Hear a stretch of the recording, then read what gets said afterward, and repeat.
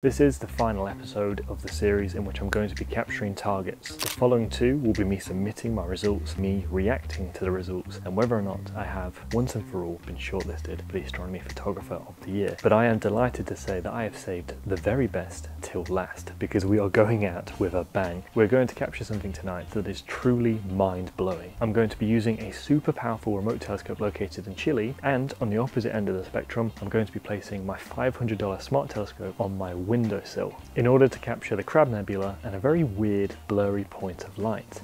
Some of you may be able to figure out what that is already, and if you want to take a guess, then leave a comment down below. I'm Damon Scotting, and this is Astronomical.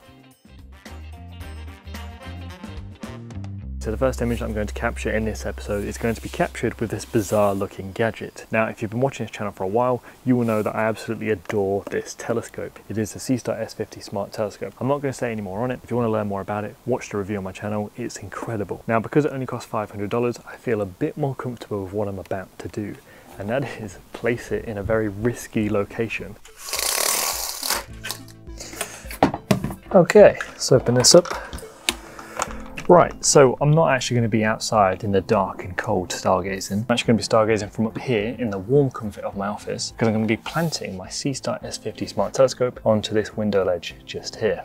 Now, I'm sure this is going to divide you guys into a 50-50 grouping of those that think this is a smart idea and those that think this is just plain stupid. So I have just mounted a cheese plate onto the windowsill and then drilled four screws into it to give me this fairly sturdy uh, it's fairly sturdy camera mount. Yeah, I think it would do the job. The one additional benefit I do have to this is the fact that I've now got these gazebos down here, but also I suppose no my look, it's probably gonna bounce off the gazebo, spring up another 20 feet in the air, and then fall down onto the surface and basically crash and shatter into a million pieces. Uh, but positive thoughts, it's not going to do that because we thought this through. It's securely fastened into this ledge. It's not supposed to be strong winds tonight and there certainly shouldn't be any rain, so it should be okay. Okay, so we've got a clear patch over here, but a not so clear patch over there. I don't know what it's like behind me, but that doesn't matter because the part that I need to be clear is clear right now. So I'm going to jump straight into imaging.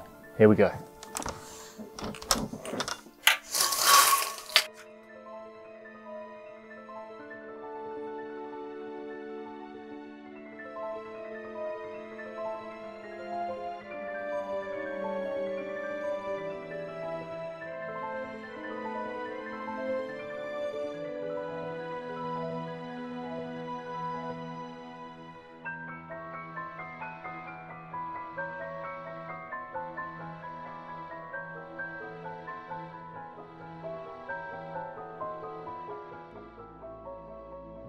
The image alone of the Crab Nebula is incredible. The fact that you can capture something like that with less than $500, phenomenal, okay?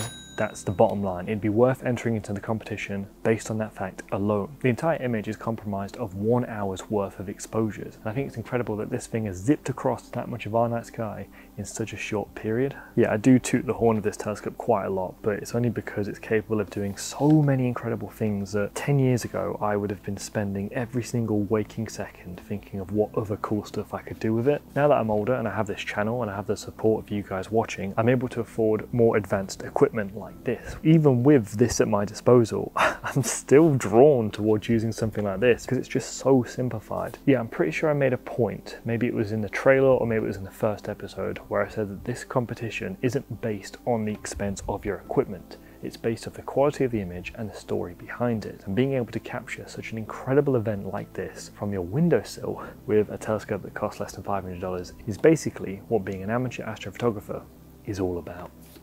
So undoubtedly, out of all the images I've taken, this one is not the best, but I think given the expense of the equipment and the actual quality of the image, it has like the highest ratio of like money spent, amazingness of the image. I like it. I'm actually really proud of it. And the fact that any one of us could have just taken this outside, put it on the ground, got it started up within like five minutes and then image something like this is just, it's incredible. It's absolutely mind blowing. Now for the grand finale. This is the best image that I've captured in the last year and the most planning has gone into it. And that is due to the rare conjunction between the galaxy M100, otherwise referred to as the blow dry galaxy, and the dwarf planet Ceres. But this encounter is even closer than the Crab Nebula and Vesta. So the story behind it is that I knew about this conjunction months in advance. The way I first found out about Ceres coming very close to all these galactic monstrosities was because earlier on in the month of November, it actually came very close to the Leo Triplet, which is a collection of three gravitationally related galaxies and they look very stunning,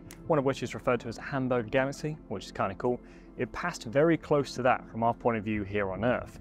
But then a couple months later, it eventually performed pretty much a loop around all of these galaxies and then start heading on following very similar to its original path. So it almost takes a tour of this garden of galaxies and I think that's really special. And the thing is, you can get so excited and worked up over an event like this, but it'll all mean nothing come the day because let's face it, in a location like England, you get on average one clear night every seven days, which means the odds of you being able to observe this event are actually quite rare. And I wasn't going to let my chances of observing this be down purely to luck things I can't control, such as the weather. So instead, I chose to book time on a remote telescope located under some of the most pristine skies on the planet. Now, I've said before that the spirit of the competition is to be able to capture stuff as an amateur astrophotographer, which ideally means that you're using your own equipment. But in situations like this, I really didn't want to miss out on such a rare event. I wanted to image it for as long as possible. I wanted to record Ceres moving over the spiraling arms of this galaxy. And here in England, it was mostly cloudy across the entire country, which means it wasn't just me who was out of luck in terms of observing this rare event,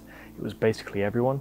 So without the help, without the aid of a remote observatory, I would never have been able to capture these images for myself. And I think that's one of the strong points I'd use for arguing as to why remote observatories are good for amateurs to use. I'd say they're fantastic for looking at things that you can't see from your back garden because there is an entire southern hemisphere that has a sky completely different to what we're looking at right now. But also the ability to be able to capture rare events like this without having to worry about the weather is just indescribable. It really takes off a tremendous amount of weight from your shoulders. There's nothing you can do. There is absolutely nothing you can do about it. So I'm very grateful for the opportunity to use these remote observatories observatories. If you'd like to check out the one I used for this video, Telescope Live yourself, then make sure you click the link in the description below and use this code because it grants you 50% off your membership and a free 7 day trial. Let's now take a look at the images I've captured. I decided to keep the exposure time relatively short and only image in luminance. I'll then overlay each of these individual images over a colour image I took a few nights earlier. This should produce an uninterrupted series of Ceres images showcasing the final stop of its grand galactic tour before disappearing behind the sun for another six months. And here we go.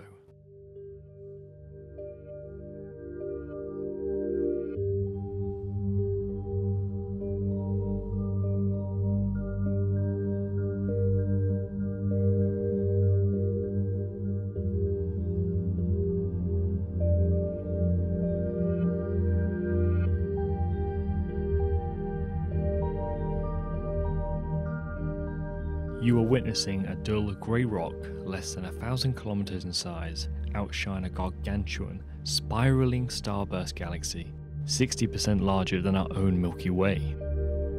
The blow dry galaxy is one quadrillion times the diameter of Ceres, the dwarf planet.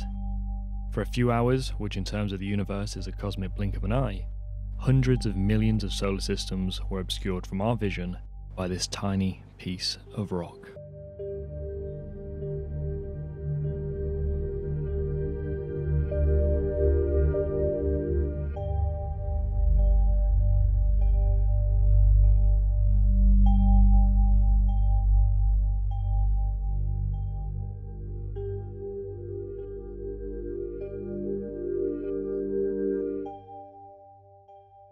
This wasn't the first time I've captured the universe in motion, and it certainly won't be the last. My first image, showcasing our night sky changing, was taken 10 years ago as a star in a cigar galaxy went supernova. I still had some credits to use with Telescope Live and decided to make the most of this opportunity to recapture this galaxy in better detail than ever before. I also included its neighbouring galaxy M81, an edge on galaxy that really adds some depth to this image.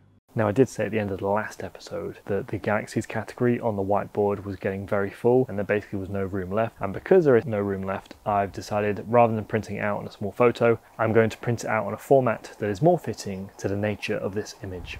Which is why for these two images that feature comets and dwarf planets, I'm going to put them in this category. But as for the third and final image, that is going to be its own printed poster instead, which is really nice. And since this is a high resolution mosaic image, you can make out a lot of detail in the cigar galaxy. So yeah, there we go. All of the entries have now been captured, which means all that's left is to submit them and wait for the results. The next job for me to do is to narrow all of these entries down to just 10 that I can submit into the competition. So in the following episode, I'll be doing just that. And it's going to be really interesting because I'm going to be talking through the process of how you do enter into the competition and some of the rules that they now have in place, including one very specific rule that I'm 99% certain has only been put in because of me. So we've taken a lot of images over the last year and we are now very close to the end. And we will find out the answer once and for all on whether or not I have been shortlisted for the Astronomy Photographer of the Year competition. Thanks for joining me. I hope to see you again next week. I'm Damon Scotting and this was Astronomical.